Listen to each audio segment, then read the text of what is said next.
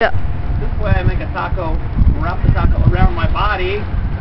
Look, there's two loops in front of me. I bend the top loop toward my toes, or I switch my hand so that my thumb's on the outside. I can twist that wrist in and make three circles and fall on the thumb.